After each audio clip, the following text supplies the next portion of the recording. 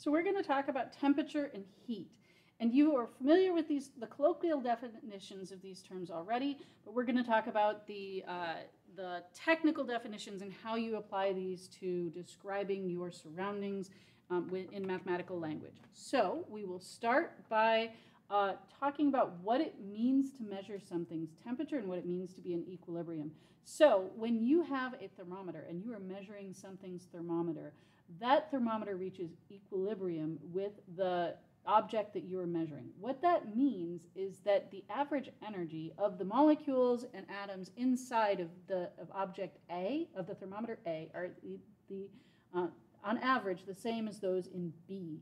So, uh, so what's going on microscopically is that the atoms and molecules in B are colliding and interacting with the molecules and atoms in, in A until they've had enough collisions that on average they have the same amount of energy. Um, and when, you, when that's true, you will actually get the, um, the correct temperature. And this is part of why if you take some thermometer, it usually takes a while for the, um, for the thermometer to reach the, the point where it, it's giving you an accurate reading. Um, when we talk about A and B, B uh, uh, sorry, B and C being in thermal equilibrium, what that means is that B and C, the atoms and molecules in B and the atoms and molecules in C, also have roughly the same amount of energy on average um, as each other. And then again, as the therm thermometer. So um, if B and C are in equilibrium with each other, if you move the thermometer from A from B to C, the reading will stay the same. That is thermal equilibrium. And what is happening microscopically is that the average energy of all of the molecules and, and atoms, each individual molecule and atom is, is on average the same in each of these objects. Now note that I said on average, that there can be, there are distributions. So you don't have the same exact energy for everything, but on average they're the same. When we use temperature, we measure the temperature in the, the if you live in the United States, you have uh, become accustomed to the Fahrenheit scale. Um, this is mostly used in the United States. Um, and the rest of the world largely uses Celsius. Um, and in the Fahrenheit scale, the zero, uh, I, I, actually don't remember where zero is. The freezing, why zero was set there. The freezing point of water is at 32 degrees, um, and the boiling point of water is at 212 degrees. Fun fact, uh, the, there is a natural vari so normal body temperature is 98.6 Fahrenheit. Uh, the, uh, the, there is some variation in people's regular body temperature, and Fahrenheit's wife's body temperature was at 100 degrees Fahrenheit, and that's why 100 degrees Fahrenheit was set there also happens to be approximately the same as the rectal temperature of, the of a cow, and I heard somewhere that it, that was why it was. I looked it up. Unfortunately, that's not true. Um, but in case you ever you need some way to memorize it, hopefully that will stick out in your head. Um, now, Celsius, zero degrees, is the point at which ice melts and becomes water. And then 100 degrees uh, Celsius is the point at which um, water boils and becomes steam. So the Celsius, uh, the, the 0 and the 100 degrees Celsius are set at a very specific point. We often also use the temperature scale Kelvin. Now, Fahrenheit and Celsius are degrees, and Kelvin, so it's degrees Fahrenheit, degrees Celsius, but it's simply Kelvin. Um, Kelvin, the, it turns out that the um, temperature in Kelvin is proportional to things such as that average speed for molecules and atoms.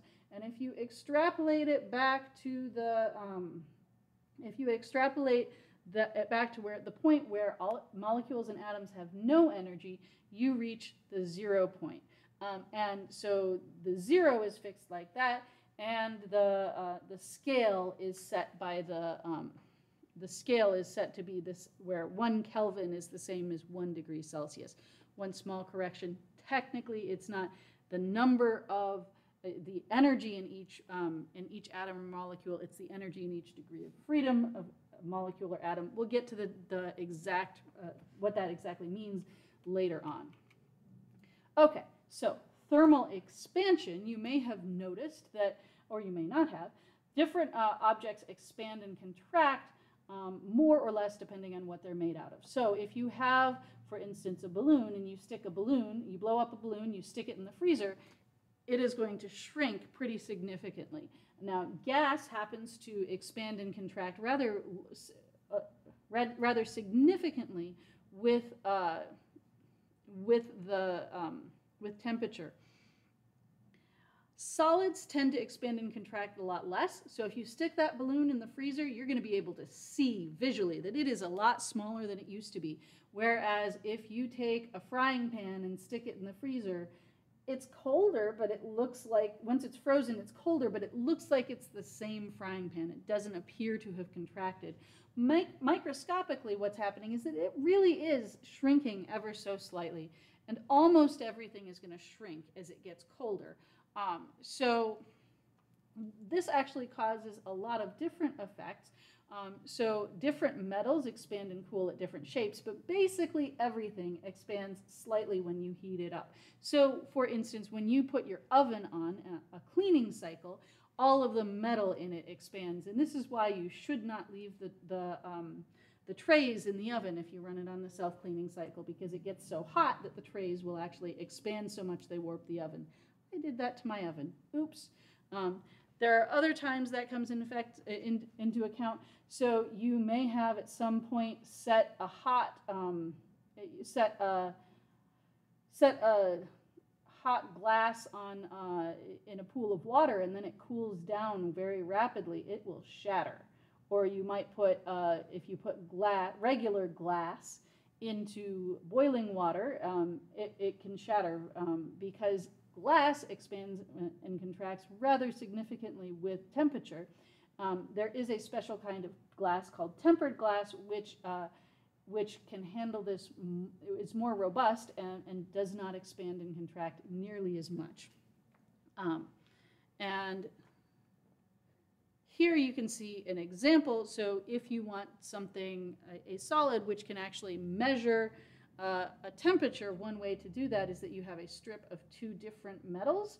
One of the metals expands a lot more rapidly. In, in this case, this strip expands more rapidly with temperature than this strip.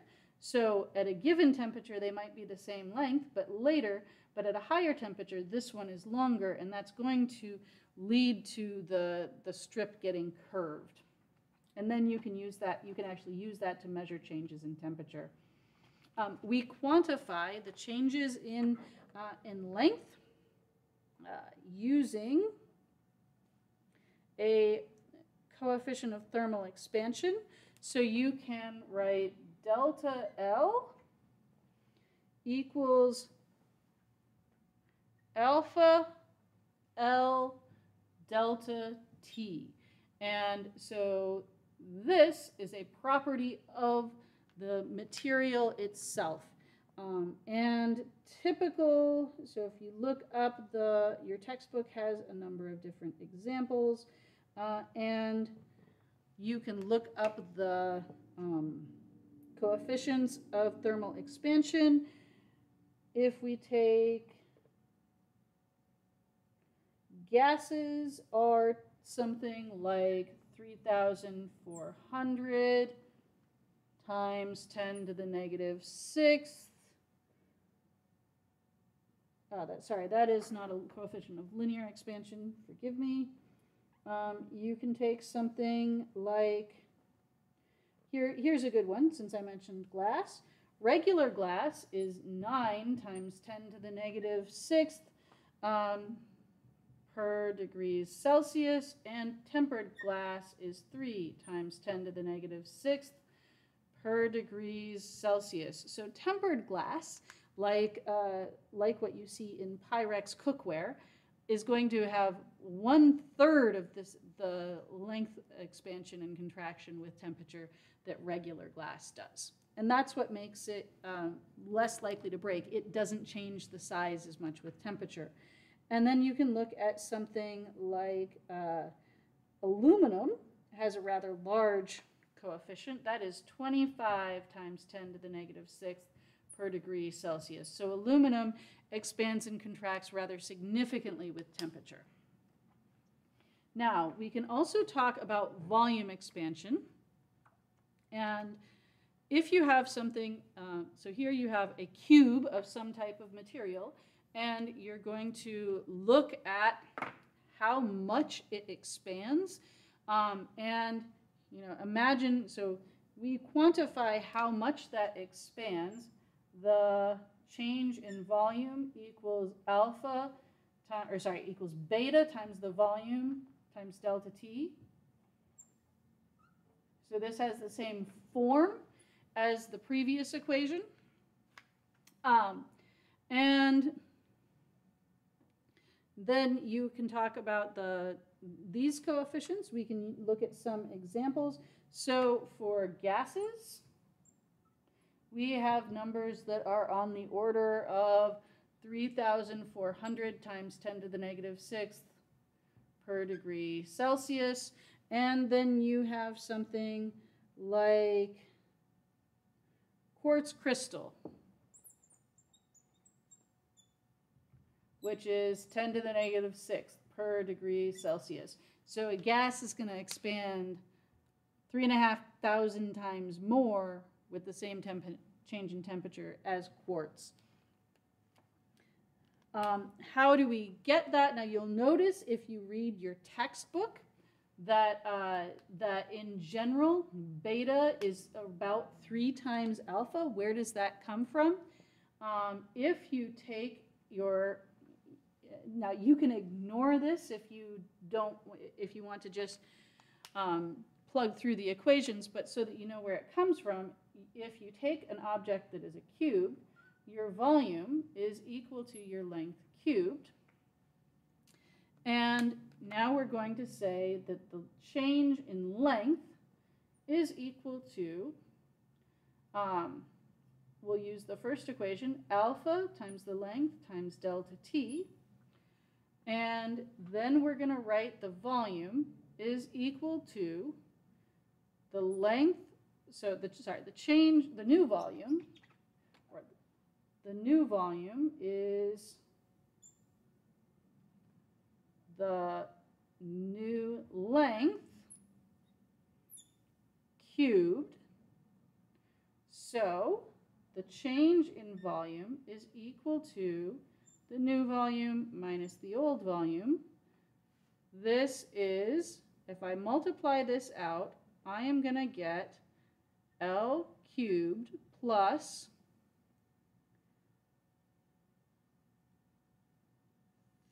um, I get L cubed plus 3 L delta L squared. Let's see. 3 del L delta L squared plus 3L squared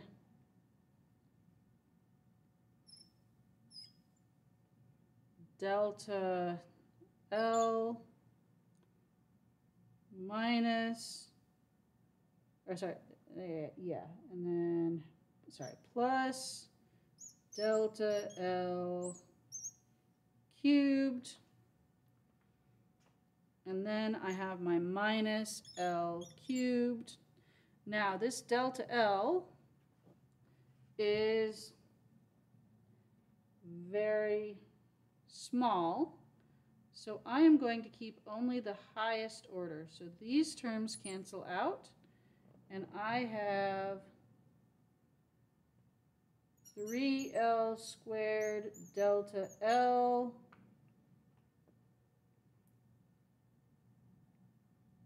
plus 3L delta L squared plus delta L quantity cubed. All right, we're talking about numbers on the order of 10 to the negative sixth. So one millionth, whatever the length is, my change in length is one millionth the original length. So I square, so this term is on the order of one millionth, and this term is on the order of, um, this term is on the order of one trillionth. So, um, this is tiny. This is minuscule. So I am going to say that this is approximately 3L squared delta L.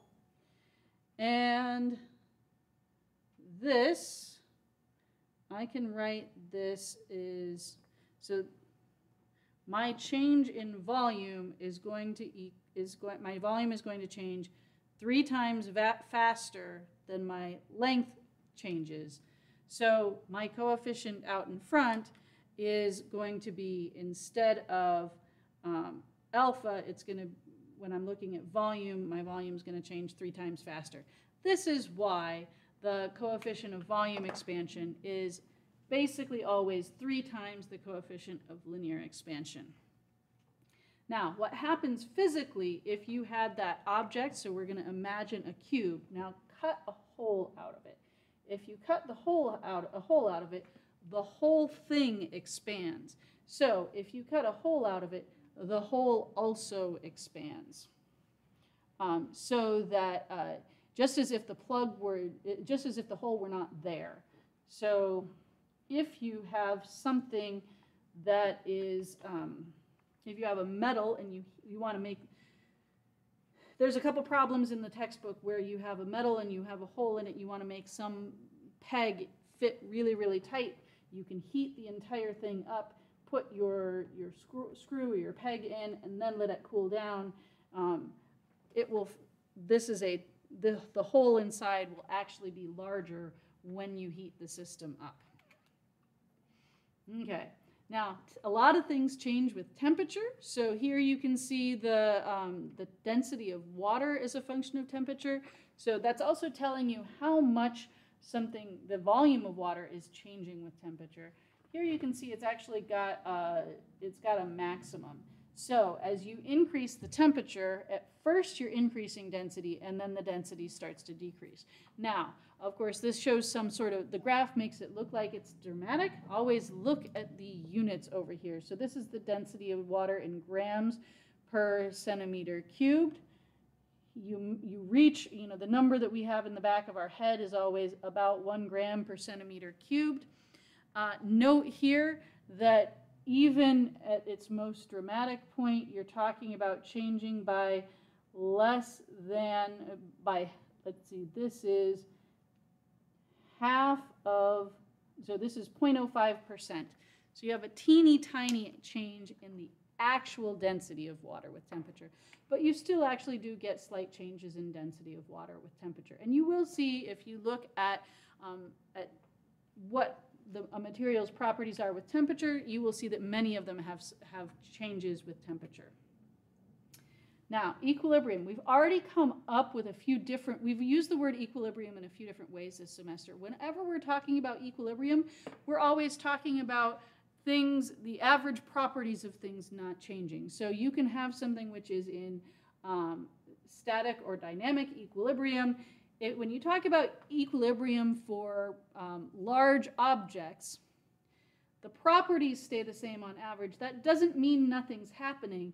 It just means that on the on average, uh, the average properties are staying the same. So if you talk about something being in thermal equilibrium, that does not mean that it's not that there's no energy transfer between two things. It's just that if you're looking at A and B being in equilibrium, the amount of energy flowing from A to B is exactly equal to the amount of energy traveling from B to A.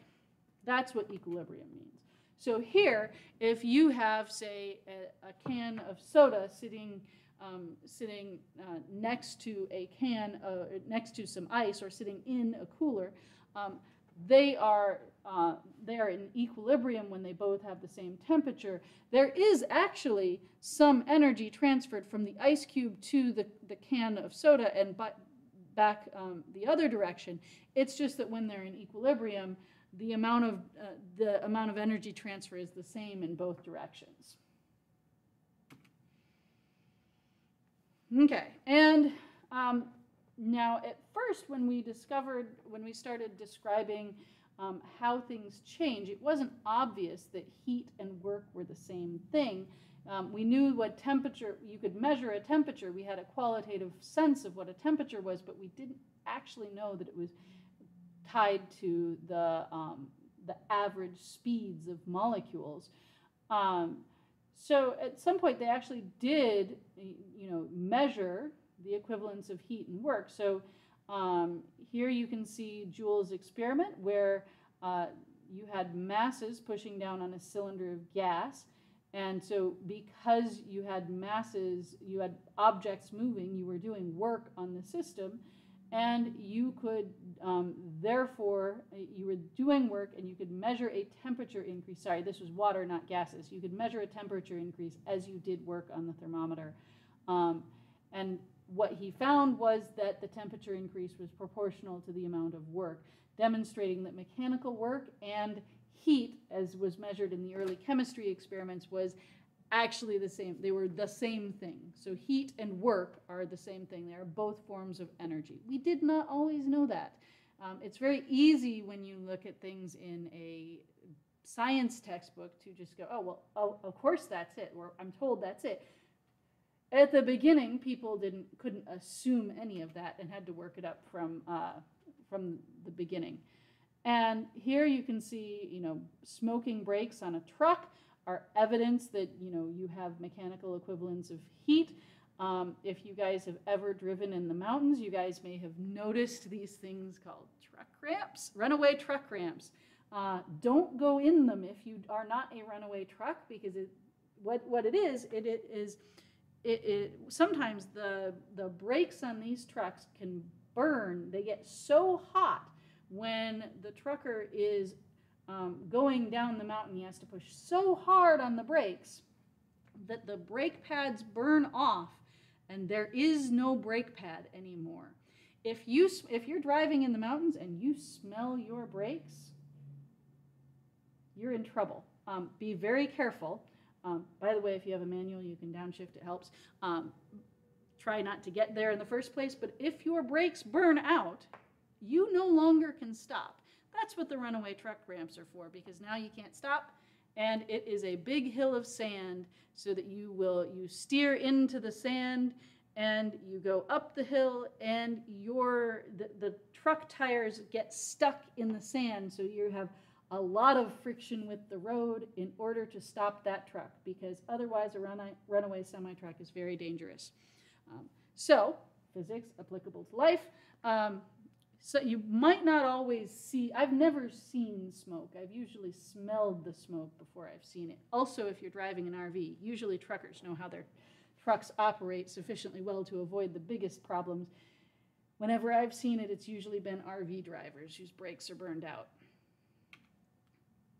Okay, phase transitions. You guys have heard a little bit about this. So, um, when you have different phases of matter, we have three main ones that we talk about. As I mentioned in passing in another lecture, there is a fourth called a plasma, which we're not talking about. Um, we're still stuck in classical physics land um, and without electricity and magnetism. We have a solid, a liquid, and a gas. So in a solid, the atoms and molecules are very close together so that the, the separation between the different atoms and molecules is typically on the order of the size of the atoms and molecules themselves. So it might be a few times the, the diameter, but it's generally about the size, it's on the scale of the atoms and molecules themselves. As you heat the system up, the, um, you end up with the atoms and molecules being a little bit further spread apart, um, they're, they're still very close to each other. They're still generally in contact with each other. The, um, the, separate, the average separation between atoms and molecules is still on the scale of the size of the atoms and molecules themselves, um, except that now, over here in the solid, they were more or less bound in place. So they, they would move within one times the distance of their, uh, one times their size. They would be somewhere around here, close to where they started. Now, they're still interacting heavily with other atoms and molecules, but which specific atoms and molecules it is changes an awful lot as it moves around. Um, and this is called a liquid. Um, and then as you, as you heat the system further, the, so these, uh, in a solid, there's very little kinetic energy in atoms and molecules. In a liquid, there's more. You heat the system for more, you're adding a lot of energy to the atoms and molecules, and they want to dance. They start moving around and bouncing off the walls. Um, it's like a room full of toddlers. So then you've got the, the average separation between the atoms and molecules in a gas is much larger than the sizes of the atoms and molecules themselves. Um, these are the three standard phases of matter that we're going to talk about um, in this class. Um, and as you go from the, this phase to that phase to that phase, what happens is that you're adding energy so that you're so that the molecules start moving more, and the average separation distance increases as you add energy to the system we have something called a phase diagram where we plot the, um, the phases as a function of, you, you, know, there's, you can plot different things on the axes. A standard way of plotting it is where you've got pressure on one axis and you have temperature on the other axis. So um, what, so here what you have is, this shows where you've got different phases. So typically here, you would have at standard temperature and pressure, that, that is one, at, this is in atmospheres, so one atmosphere. At very low temperatures, you have an ice. If you increase the temperature, you get to water. You increase it more, you get to water vapor. If you have higher pressure, um, what happens under higher pressure is that the you start making ice at lower temperatures. So, um, so this transition moves back a little bit. So you're so at very high pressures, the um, the freezing point of ice will be a little bit less than zero degrees Celsius.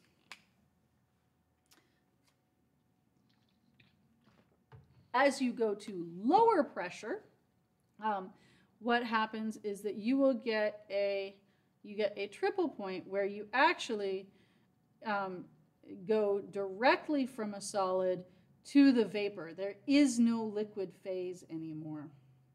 Um, so this, and, and then there's a line, so if you are at sufficiently low pressure, you just don't have enough pressure to keep the molecules, uh, um, this is for water specifically, you just don't have enough um, pressure to keep the mo water molecules close together. We spend a lot of times, uh, uh, time in our regular lives dealing with the, the consequences of the phase diagram of water. Now, this is most this is what you need to know for most of this class and for high school physics, but I just want to flash for you. This is the detailed phase diagram of water, um, and there are 16 different phases of ice. You probably didn't realize that. Um, that, that that's different differences in the molecular structure of ice itself. So it can form crystals in different ways, depending on how much pressure um, you put the water under. Um, and then here, so here where you have sublimation, you don't usually see sublimation of water, but you probably have seen sublimation of carbon dioxide. So carbon dioxide at standard temperature and pressure has a transition from a solid to a vapor. Um, and if you, eh, so this is dry ice. So what you're seeing with dry ice is that you actually see it go directly from the solid to the vapor, to the, uh, so without passing through a liquid. Um, and, you know, you can have, so this is these transitions from solid and vapor, they sometimes happen, they happen fairly regularly. This shows a picture of dry ice. Um, you also can get uh, frost forming on windows. This is when you have the have water in the air um, hits a cold window and it will freeze directly um, in, er, in, going from a vapor into a solid um, without going through a liquid phase. Okay, so then um, this the fact that you end up getting that the pressure matters. So if you have a closed con container, um, you actually will end up with a, a lower boiling point because the water vapor is trapped inside. Um, so, uh, so that's why you want to close the lid to a pan if you want to get the water to boil a little faster.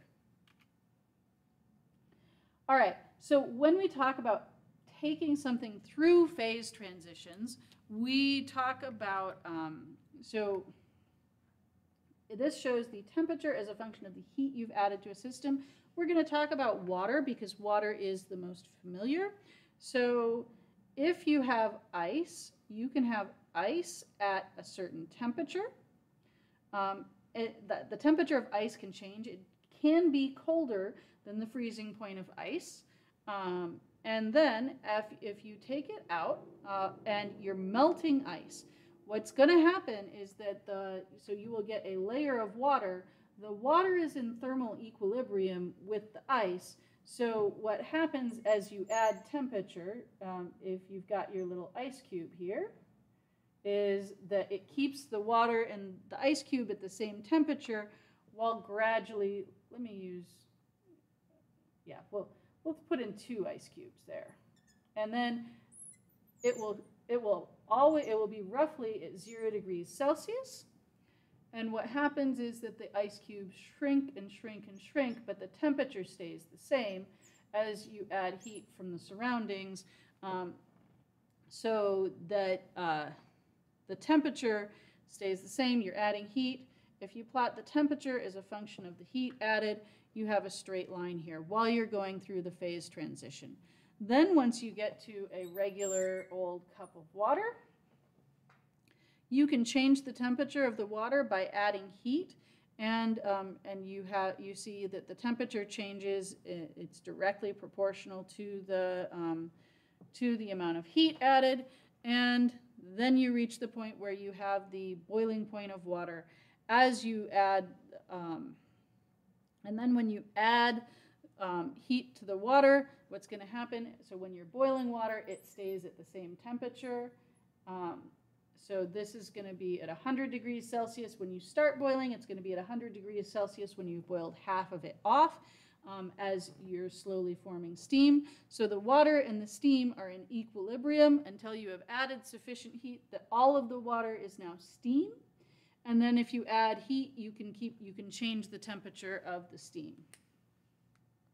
So if you plot the temperature as a function of um, as a function of the amount of heat added, you see that every time you have a phase transition, um, there's a plateau. We have two different equations to describe the different parts of this curve. When you have um, when you are not going through a phase transition, then you have a specific heat. So the amount of heat is the mass times the specific heat times the change in temperature. So we have observed that when you are not going through a phase transition for most materials, the, um, the amount of heat it absorbs is directly proportional to the change in temperature. And this constant, is, this is a constant for different forms of matter. So for, uh, for liquid water, this C is one um, gram per degree, um, one gram per, sorry, one joule per, per, per degree, one calorie per degree Celsius. And then uh, the appropriate number is about 4,000 joules per, um, per kilogram Kelvin um, in SI units. So whenever you have something changing temperature and not changing phase, this is it. And when you have a phase change, you have a mass times the latent heat of formation. And there is a, so there's a different specific heat for ice, water, and steam. And there is a different latent heat of formation for water and steam. And if you are in my class, I always make my students calculate once the amount of heat going from going along a trajectory like this, going from changing the temperature of ice into um, melting the ice, adding the, uh, heating up the water, and then boiling the water off, and then changing it to steam. It is an exercise you should do once in your life. It's not necessarily so useful more times than that. All right, now we can talk about heat transfer. This is something that affects your daily lives. If you, uh, whether you're talking about living in, you know, living through winter or a hot summer, you're often dealing with heat transfer and trying to prevent it or trying to get more of it. Um, and if you have, so there's three different ways that you can have uh, that you can have heat transfer. One of them is conduction. Conduction is the heat transfer that occurs when two things are directly in contact. So that ice cube in contact with a soda, that is conduction because the the ice um, or the water in the ice um, does not go into the soda can. You're not cha- you're not exchanging any mass. It's simply that the two objects are touching each other and therefore um, they are gradually equaling, gradually reaching thermal equilibrium. Um, you can also have convection. This is the movement of air. So if you open a window to cool a room in your house off, that is convection because there is an exchange of mass. Mass is coming, there's air coming in the house in one direction and air going out of the house in another direction. You can also get heat transfer through radiation, um, and that does not require any, any contact or any exchange in, uh, in matter. So if you sit near a fire, but you're not actually touching the fire, that fire actually emits light at very low wavelengths. It hits you, that's what warms you up. Um, it hits you and it causes the atoms and molecules in your body to start vibrating more um, because it's it, because your body is absorbing that light. So that's radiation. So if you have something like you're sitting around a fireplace with an open window, um, or you have leaks in your doors and windows, you will always have some leaks in your doors and windows. Um, you can have all three going on in your house at the same time. You can get air coming in through doors and windows and then going out through the fireplace. You actually need the air to go out through the fireplace. So you will always have some level of convection in your house because you've got air coming in and going out. Um, you get, uh, if you have a fire, you have some heat transfer through radiation because that fire is emitting um, is emitting radiation that is actually warming you and the things around you up. And you can also get conduction where the fire is sitting on top of the fireplace and it is heating the um, it is heating the hearth and this this area gets warm. And actually in Korea they often use floor heating and they actually heat the floor underneath you instead of using in the United States we often use um, we use central heating systems that blow air throughout the house. In Korea, they heat from below. Um, and you also, in, in, a lot of Europe, you have radiators. So all, all sorts of different things are standards. Um, and well, the radiators don't only use radiation, they also use convection around it and some conduction to nearby things. So in a typical house, you, you usually have all three of them going on at the same time. And this shows how heat conduction works. So if you have two things in contact, what actually happens is that the all atoms and molecules in one hit the atoms and molecules in the other, and that leads to energy transfer between the different atoms and molecules so that they eventually reach the same average amount of energy per degree of freedom. Um, so it, it does matter how they're moving, but they a measure of the same energy um, in each different object. And it can occur through, um, it can occur through any type of material. Um, most materials conduct heat somewhat. Some of them conduct heat better than others. And your book has an equation for how rapid that heat transfer is. It basically says that it is so that heat transfer, the amount of heat transferred per unit time is proportional to the difference in the temperature between the two objects and to the area um, where they overlap and the separation um, between them. So then uh, there is some coefficient of, there is some coefficient of proportionality to describe how they change. So the greater the difference in temperature, the more rapid the heat transfer is going to occur.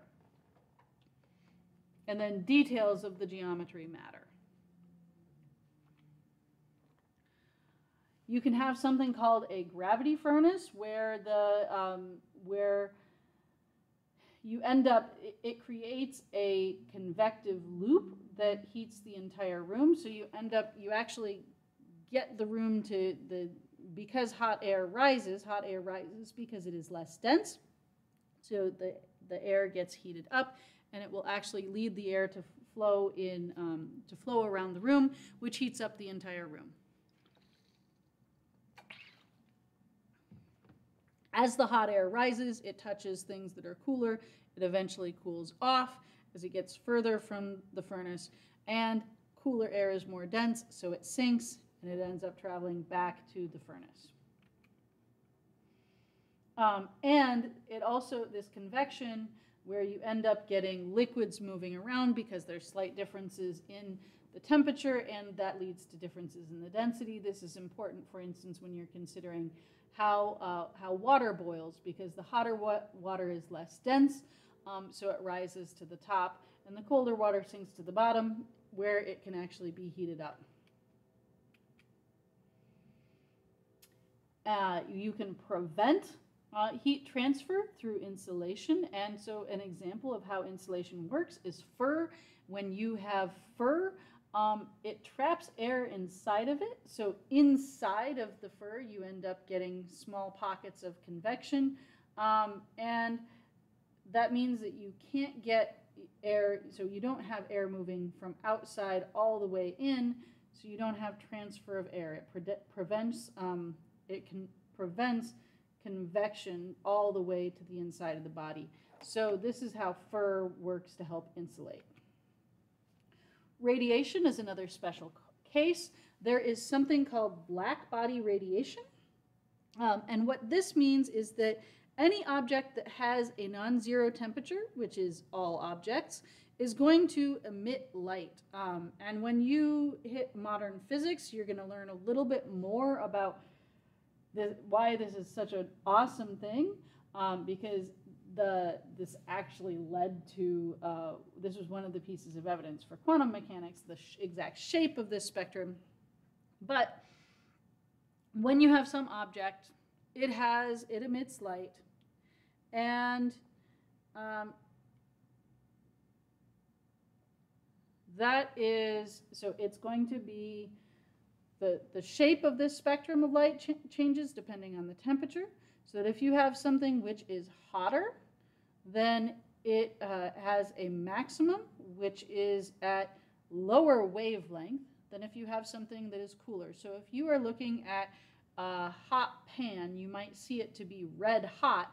Um, and uh, the reason you see it to be red, longer wavelengths we perceive as red, um, and it just doesn't have enough of these, uh, of the blue and the um, blue and green light, you, you, don't see them. The dominant thing that you see is red. Um, the sun is something that we call white hot because it looks white. Now, why does it look white? Which came first, the chicken or the egg? Um, the, uh, the sun, um, actually, the peak of the sun's light is in the visible spectrum, so that most of the light from the sun is in the visible spectrum. We perceive light, which is a roughly equal mixture of light in the visible spectrum, to be white light, even though it's actually a mixture of colors. Of course, we evolved so that we could see visible light very well because most of the light that we get from the sun is visible light. Um, and so any object is going to radiate heat. When you're sitting in front of that fire, you are actually feeling some of the black body radiation from that fire. And this will also happen. You stand near your stove while it's on, you feel the heat from it. That is black body radiation because that stove is warmer than you. So it is emitting light. That light uh, it is emitting radiation. That radiation hits you. You feel it. It makes the molecules in your body want to dance. So they all start, start vibrating more. That movement is what we perceive, that movement of molecules and atoms is what we perceive as temperature. The more something's moving, the more the higher temperature it is. Um, so now you can have things that emit light better than others um, and things that reflect light better than others. Black uh, absorbs light much better than white. Um, we often make approximations that things that are black absorb all the light. It's not all of them. Things that are white uh, reflect nearly all of their all of the light. Now, even any almost any white that we make is actually imperfectly reflective. There's been a big drive to make, for instance, very reflective white paint for painting this, the roofs of houses in hot climates so that you do not need to, so that they don't get warmed up by the sun and you don't need to spend as much on air conditioning. In cold climates, you want the opposite, or cold climates, or in winter, you want the opposite. You want your, um, your dwellings to absorb a lot of energy, so you might want them to be black. So if you have, um, and actually the color inversion here switched it so that this should be black, that it should be, that should be darker black, and this should be lighter, lighter or whiter. Um, so the, if you put ice cubes on pavement, um, on light pavement versus on uh, asphalt, the ice cubes on the asphalt are going to melt faster because the asphalt absorbs more light than the pave, than the sidewalk. So in general, a black object is a good um, is a good absorber. Here's where the color inversion gets a little mixed up. This is black, that is white, so or or light. So something which is black will absorb nearly all of its light, um, and when it radiates, it emits most it emits most of its um, radiation. Um, something which is white um, will reflect most of, uh, of the light, but then its black body radiation will largely be retained. So a Black object is a good absorber of light and a good radiator, and a white or clear, or a white or silver object is a poor absorber and a poor radiator. Now we'll move to just a couple of examples. So here you can see a phase diagram for carbon dioxide, um, and this shows um, the this shows as a function of, so pressure here we are, this, this one atmosphere is roughly what we are in the regular world. And you see that it will undergo, there's a triple point up here at much higher pressure. This is solid, this is gas, sorry, this is solid, this is vapor, this is liquid. So at standard temperature and pressure, as you um, increase something, so you will, at negative 78 or so, um, you have the transition from degrees Celsius, you have the transition from a solid uh, carbon solid carbon dioxide to a vapor of carbon dioxide. Um, and you would have to go up five times atmospheric pressure. This is not a, this is a zero suppressed scale. So five times atmospheric pressure to, to even be able to see liquid carbon dioxide at all. That is to say that at standard, uh, standard pressure, you will always have carbon dioxide sublimating. Um, here you see a cutaway of a thermos bottle, which is known as a dewar. Um, the question is to explain the various parts and how they help the dewar um, absorb, keep keep the heat in. Okay, so uh, if you've ever worked with liquid nitrogen, you've seen this canister that uh, looks a little funny from the outside. Um, it has on the it has on the inside a container which is typically glass. Glass is generally a poor conductor of heat. So you want something that does not conduct heat well. Um, you're going to put something cold, like, you know, this could be a thermos, it could be a liquid nitrogen dewar. You have some liquid, you'd like to keep it at its, um, at its standard temp, at, at either hot or cold. If you use silvered walls, so the, gla the glass is shiny on the inside, that means that whatever uh, whatever light this liquid emits, because it is a it is always emitting light because uh, everything emits light through black body radiation. Whatever light emits, the the silvered wall is going to reflect most of it and absorb very little. So you want to minimize, that's because you want to minimize the heat transfer from this liquid to the, um, to the inner container. And, and then you want to minimize the transfer of heat through the container itself to the surroundings. So you have a vacuum surrounding your glass bottle.